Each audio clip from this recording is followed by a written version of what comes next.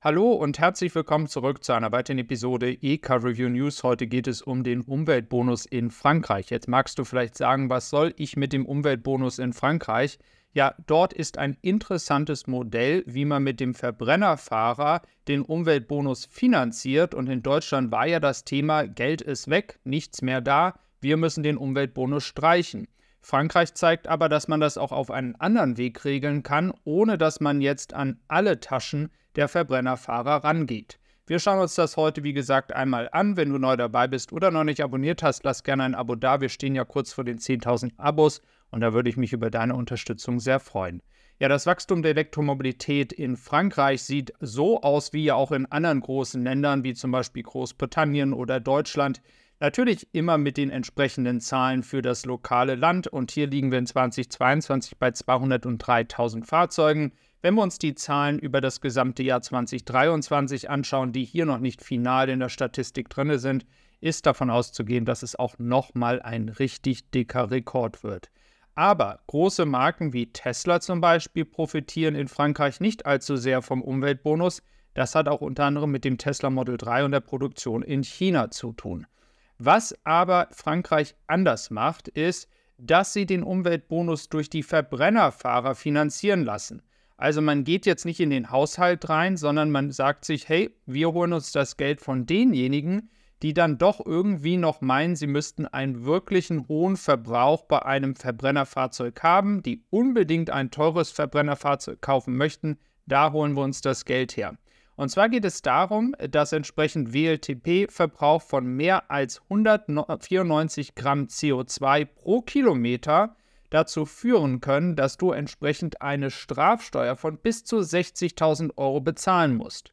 Und es geht auch unter anderem darum, dass ein Normverbrauch von mehr als 8,2 Liter Benzin oder 7,3 Liter Diesel in den Papieren stehen muss, damit man entsprechend dann hier zu einer Strafsteuer ja, gezwungen wird.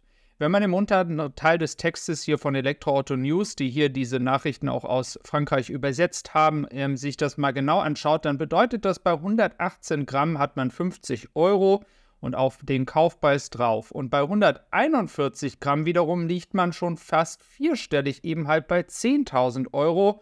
Und dann geht es eben halt immer weiter staffelungsmäßig nach oben.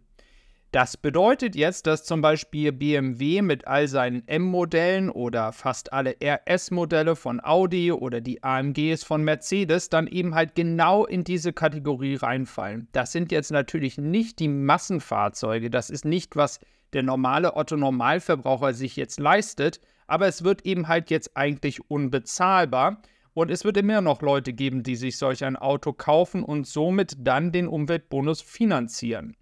Es ist so, dass es ab dem 1. Januar 2024 eben halt in Frankreich nach Einkommen gerichtet 7000 Euro Maximum geben kann. Und das ist etwas, was ich sehr, sehr interessant finde. Es ist sehr sozialverträglich, also die Leute, die weniger Geld verdienen, ähm, bekommen auch entsprechend einen höheren Bonus. Und wir reden ja immer darüber, ich kann mir ein Elektroauto nicht leisten. Also würde man hier die Lohnabrechnung vorlegen als Ehepaar oder entsprechend als Single und man würde dann entsprechend da reinfallen. Außerdem gibt es noch ein Sozialleasing. Ja, du hast richtig gehört, ein Sozialleasing für Leute ab 54 Euro im Monat. Und das ist auch nicht uninteressant. Das Angebot richtet sich an Haushalte, deren Referenzeinkommen weniger als 15.400 Euro pro Jahr betrifft und man darf außerdem nicht mindestens, oder man muss außerdem mindestens 15 Kilometer vom Arbeitsplatz entfernt wohnen oder beruflich pro Jahr mehr als 8000 Kilometer zurücklegen. Also da hat man sich was richtig, richtig Smartes ausgedacht für Leute, die entsprechend nicht so viel Geld verdienen und 15.400 Euro ist wirklich nicht viel Geld.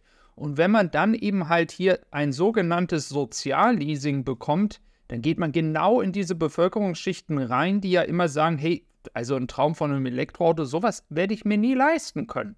Und mit solch einem Leasing, finanziert natürlich wieder durch den Staat dann und durch die Abgaben derer, die als Verbrennerfahrzeuge die Strafsteuer bezahlen, ähm, ist das entsprechend dann möglich. Ja, also das ist so ein Thema und das weitere Thema ist natürlich, dass man die lokale Produktion, die europäische Produktion ähm, entsprechend stärken möchte. Da gab es ja für, vor einigen Monaten auch mal Berichte zu. Und es ist so, dass der MG4 zum Beispiel, auch der Dacia, ähm, auch das Tesla Model 3 bekommen alle keine Förderung. Also das ist so, dass man sagt, hey, die werden in China produziert, das wollen wir nicht. Wir fördern nur Fahrzeuge, die auch in Europa produziert werden. Das heißt, für Tesla zum Beispiel bedeutet es nur das Tesla Model Y. Wenn man jetzt also ein, ein Auto sich holen möchte in Frankreich, welches aus China kommt, dann bekommt man die Förderung nicht. Lass mir gerne dein Feedback da, was du zu dem ganzen Thema denkst. Ich glaube, das wäre sicherlich auch mal nicht so eine schlechte Idee gewesen, wenn man das so in Deutschland aufgebaut hätte. Derzeit glaube ich nicht, dass das politisch möglich ist, dass man über so etwas nochmal diskutieren wird. Und gleichzeitig haben BMW und Audi, wo wir ja gerade auch über diese Marken gesprochen hatten in Frankreich, haben in ihrem Verbrennermarkt und auch Elektroautomarkt zusammengefasst, ähm, jetzt endlich mal nach Jahren wieder ein Wachstum in Amerika hingelegt, ähm, was sicherlich auch erfreulich ist, vor allem für Audi, die wirklich stark gebeutelt sind.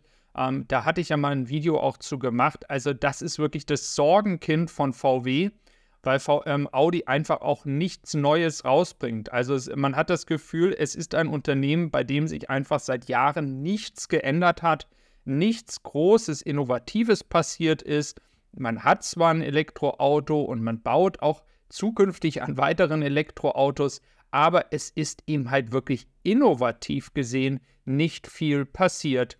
Und die 362.000 Fahrzeuge in 2023 sind da mit einem Absatzplus von 9% in den USA doch schon mal ein erfreuliches Ergebnis. Ja, wir sehen hier auch nochmal, ähm, die Tochter Audi hat im vierten Quartal die Verkäufe eben halt auf die 60.000 Fahrzeuge gesteigert. Drei Jahre hat Audi inzwischen übrigens keine neuen Modelle gebracht. Und das ist genau das, was ich gerade eben halt erwähnte. Also drei Jahre für solch einen Konzern, keine neuen Modelle. Das ist wirklich ein Problemfall für VW. Und da wird man sicherlich jetzt hier mit dem neuen Chef Gernot Döllner versuchen, das Ruder umzuwerfen. Ich erinnere auch noch an diese glorreichen Zeiten in China, als ja im Prinzip Audi das Aushängeschild war, ähm, als der Markt und auch die Wirtschaft in China gewachsen ist. Man hat gefühlt, hat jeder, der irgendwie einen Rang und Namen hat, versucht, in China ein Audi zu kaufen. Und ja, also gefühlt 20 Jahre später ist das eben halt nicht mehr der Fall. Es wird also spannend sein, wie sich diese Automarke weiterentwickeln wird. Und auch in Bezug auf Frankreich zum Beispiel sieht man jetzt, das ist ja nur ein Beispiel, ähm, wie ein Verbrennerfahrzeug auch teurer werden kann. Und da ist auch wieder der Punkt, egal was wir in Deutschland machen, wenn es andere Länder machen, beeinflusst es auch die deutschen Autobauer. Ich freue mich auf ein weiteres Video mit dir, wünsche dir einen schönen Tag, mach's gut, bis dann und tschüss.